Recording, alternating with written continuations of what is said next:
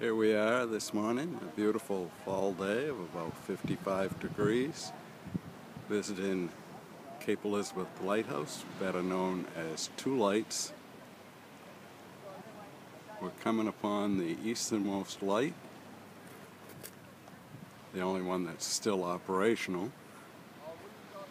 And as we pan around, we will catch a glimpse of the western light ships used to head in from the south to Portland Harbor used to line these two lights up to give them safe passage. As we pan back to the eastern light, you may be able to see in the foreground in the cove a scuba diving class. Now we'll pan back around and catch the ocean side. Beautiful, beautiful spot to visit.